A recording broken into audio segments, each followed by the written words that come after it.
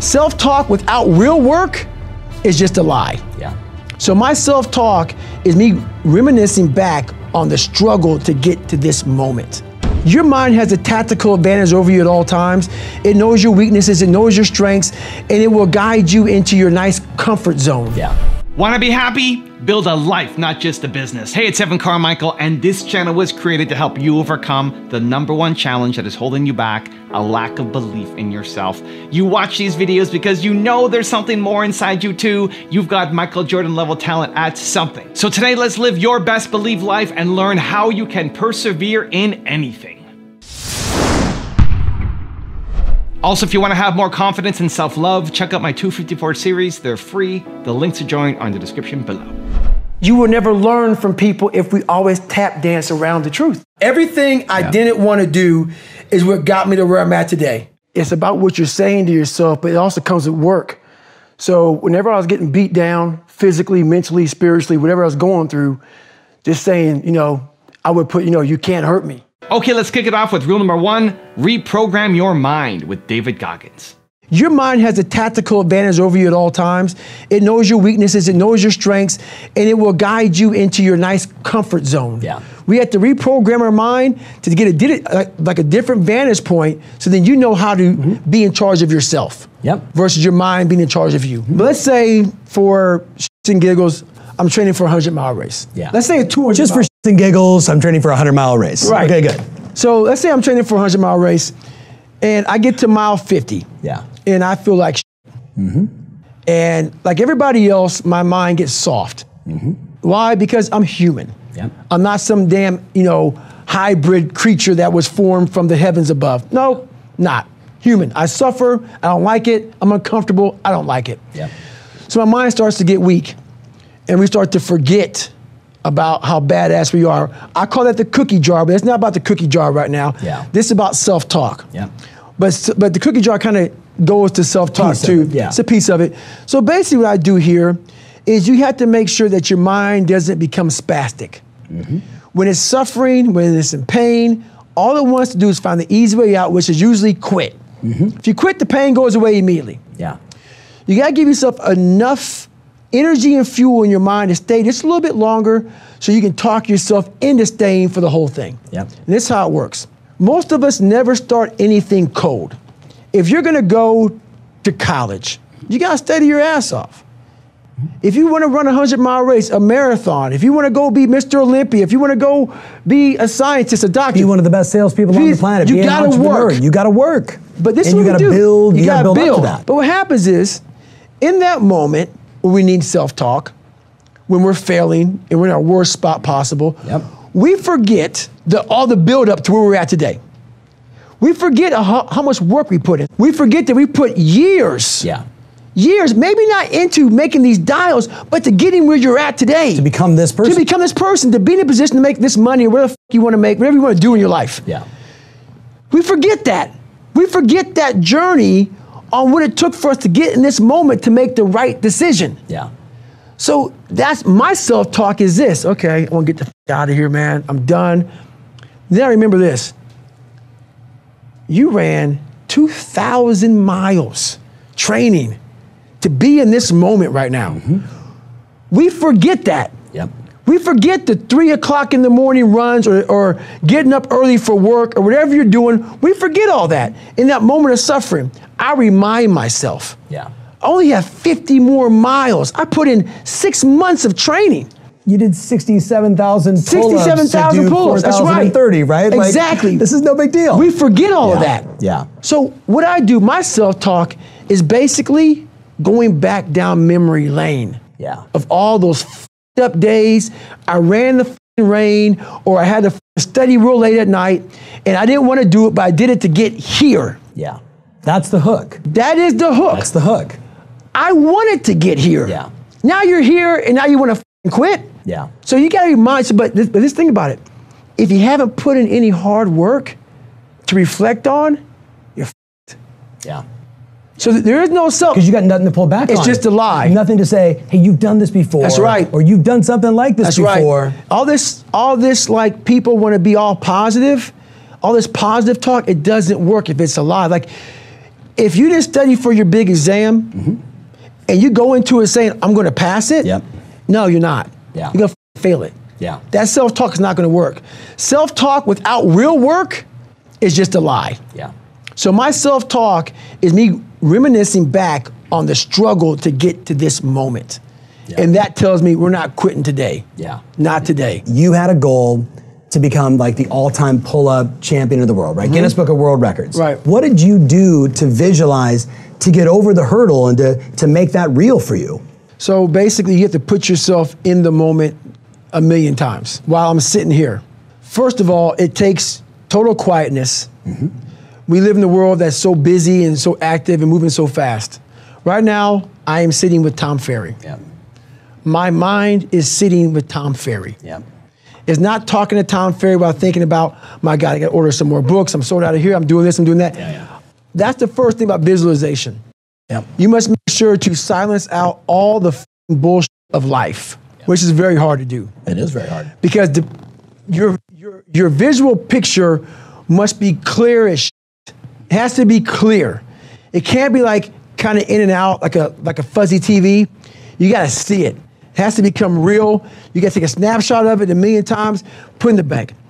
That snapshot of me was getting that 4,021 pull up Yeah. knocked out because the record was 4,020. Yeah.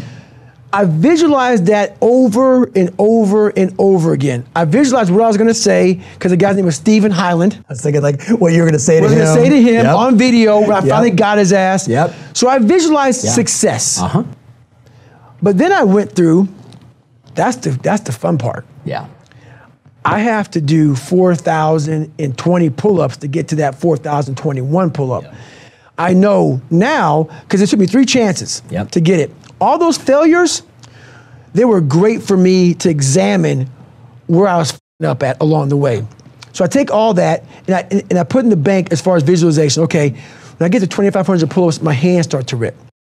Okay, I get ready for that. So I started visualizing how am I going to handle the pain? Mm-hmm. Okay, then you start visualizing, okay, my, my nutrition was off. You start visualizing all these things because Yeah. you have to mimic it a million times, but I can't mimic 4,020 pull ups No. by doing it. But you can see But all the I can see milestones where you the- failed. That's right. And see yourself going beyond it. That's right. Yeah. So that that was my big thing about I, I had to walk in, get the chalk, see I had to see everything over and over and over again.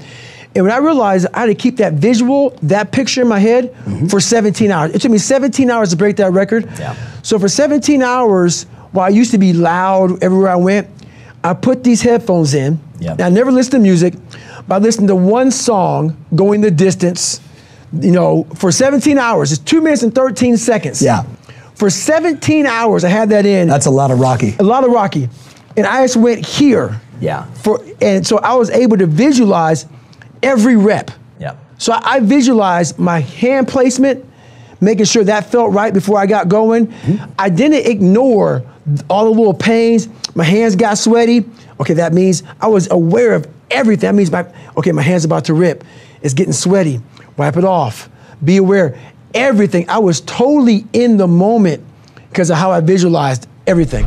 Now I have a special bonus clip from David on how to run into your fears that I think you're gonna enjoy. But before that, it's time for the three point landing questions. Let's go from just watching a video to taking action. Here we go. Question number one Where do you need to reprogram your mind? Number two, what obstacles will prevent you from doing it? And number three, how will you overcome those obstacles when they come up? And if you made it this far in a video and you are committed to making a change, I wanna celebrate you. Give me a hashtag believe down in the comments as well. the most important conversation you'll ever have is the one you have with yourself. Mm-hmm. You wake up with it, you walk around with it, eventually you'll act on it. Mm-hmm. And my self talk was most disgusting self talk of all time. Mm. So the sewer of my mind, like I said, you have to go back in there and fix things. A lot of us are afraid. Like right now, 20 years ago, you wouldn't find me on this show. I was too embarrassed to tell you I stuttered, mm-hmm. I lied, mm-hmm. all these different things, getting beat up, getting bullied, whatever happened. But that's where the true transformation starts to happen. When you can look at people, anybody, thousands of people, one person, and say, hey, this is who I am. And this is where I have to fix myself. Mm-hmm. And this is where it really happened. I thought it happened when I was in, you know, 19, 18 years old trying to pass this military test. Right. It happened here when I was almost 300 pounds spraying for cockroaches, mm. making $1,000 a month. Mm. And, you know, people called me dumb. People, my dad called me so many things, it's not even funny. Mm. Being beat just stripped me of all self esteem. This is when I realized I was alone on this earth. Yeah. I have God, but alone on this earth, and I have to fix everything. So this is where I started to develop an indestructible mental toolbox. Okay. So I came home one night after spraying for cockroaches at Ecolab, and literally I was praying at Steak and Shake, and I would go across the street to 7-Eleven. I had a 45 minute commute home. So I worked from 11 o'clock at night to 7 o'clock in the morning. Okay. I had a 45 minute commute home. And my my stop would be, you know, steak and shake, chocolate milkshake, across the street, 7-Eleven, box of mini chocolate donuts, and I would eat that on the way home. Yeah, sure. When I come home, I turn the TV on. I take my shake because the box of donuts were, I mean, they were killed. Oh, yeah. I kill those. Yeah. Go back to the back, turn this, you know, turn the TV on and take a shower. Listen to the TV while I'm taking a shower. This day, I heard these guys on the TV talking about Navy SEAL, toughest, class 224. So I heard stuff about Navy SEALs. Mm-hmm. You know, these are the baddest of the baddest. Yeah. So I come out and I'm watching this show while I'm drinking my shake. And when you're watching the show of guys who are putting out there and they're quitting, quitting left and right. Oh, sure. Just can't handle. it. They're going through Hell Week. They show them going through first phase, second phase, third phase, and they're dropping like flies. I looked in this one guy's eyes who was ringing the bell to quit, to put his helmet down out of Navy SEAL training, and I saw myself. And I saw what everybody said I was going to be, which was nothing. What I said I was going to be, that, that, that conversation you have, mm-hmm. that's who I was. So that's why I lied to people to tell them a different version of the truth. Sure. I had to make all those lies reality. Mm. I had to make them real. I had, I had to become a real person. So that's when I put in my mind that I'm going to go to the toughest military training on the planet. Mm. And where it has the most water, the thing I was scared of the most, mm-hmm. I had to go back. So a lot of us run away from our fears. Sure. And we box ourselves in mm-hmm. to a, a lifestyle of this is all we can do. Right. 'Cause I'm afraid of everything outside this box. Yeah. So I'm comfortable inside this box. I jumped the box Oh, you did, yeah. for the first time in my life. Mentally, I jumped the box and said, hey, I I, I got to come out here and play. If you want more David Goggins, check out the video right there next to me. I think you'll enjoy it. Continue to believe, and I'll see you there. You're to find peace from going to war with yourself. Whenever life would start getting good for me, God would throw a nice anchor and stop me right there.